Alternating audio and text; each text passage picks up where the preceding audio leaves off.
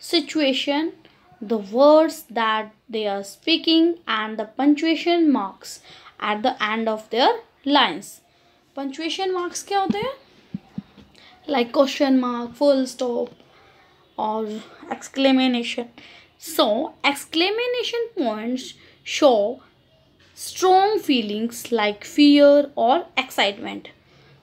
तो exclamation mark होगा this is the exclamation mark तो this mark shows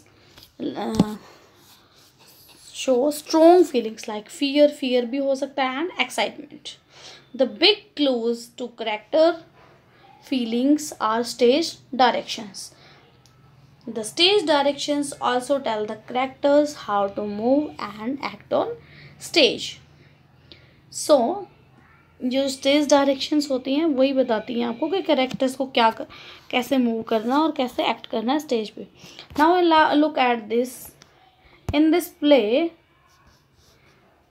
now look at this there are there are the stage direction that is given in the brackets जो brackets में now look at this scene mother leaves switching off the lights और ये brackets में है so this is a stage direction okay students कि mother ने क्या act किया? कि स्विच किया लाइट को लाइट ऑफ़ किया और वो चली गई वहाँ से। तो these stage direction shows how to move and act on the stage characters tells us the characters how to move and act on the stage so students I hope it is clear to you now move next so student this is your horse question higher order thinking skill what would happen if there were no stage direction क्या होगा? What would happen so student let discuss if there were no stage direction the the actors of a play would not know how to speak or move on move on stage they would have to read their scene again and make their own stage directions उनको पता ही नहीं चलेगा कि कैसे act करना है, अब किसकी कैसे एक्ट करना है, कैसे स्पीक करना है, कैसे मूव करना है स्टेज पे। So if there are no stage direction the actors of a play would not know how to speak or move on the stage so students I hope it is clear to you move on next so, students, this is your so, student, this is your worksheet, reading with feeling. There is a question 1 answer the questions in the boxes. There are the boxes here. And scene 3 written on the this box scene 3 so, so student here is the scene 3 and this is the question 1 how does kritika feel in this scene? So kritika now look at the scene 3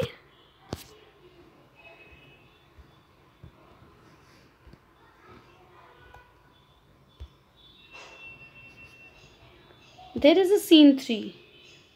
Now tell me, Kritika, how does Kritika feel in this scene? So Kritika feel Kritika feels happy in this scene. And what clues in the play tell you about the way she feels in the scene? और कौन सा clue है जो बता रहा है कि वो हैप्पी थी वरिड थी या जो भी थी हैप्पी थी वरिड थी। उसकी फीलिंग्स को कौन सा क्लू है जो बता रहा है?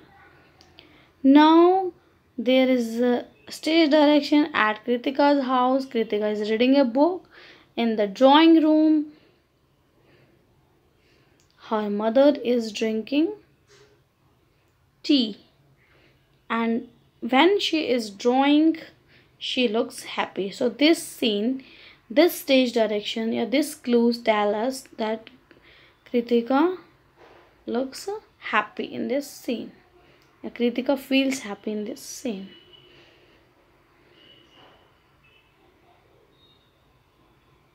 So students, now let, let's discuss our fourth scene. This is the fourth scene and this is this is the fourth scene. Now tell me how does Kritika feel in this scene? So Kritika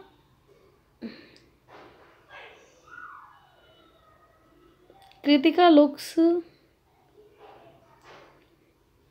excited in this scene and what clue in the play tell you about about the way she feels in this scene so there is a kritika looks at the stage lovingly then she goes up Kritika pretending to be Peter Pan कि pretend कर रही है ना Peter pan की तरह सो Kritika looks happy in this scene.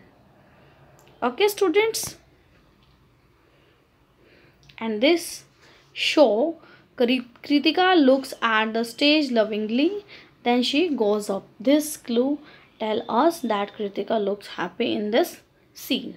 So students I hope question 1 is clear to you. Question 1 of your worksheet is clear to you. Now student let's discuss question 2 why are kritika's feeling different in each scene each each scene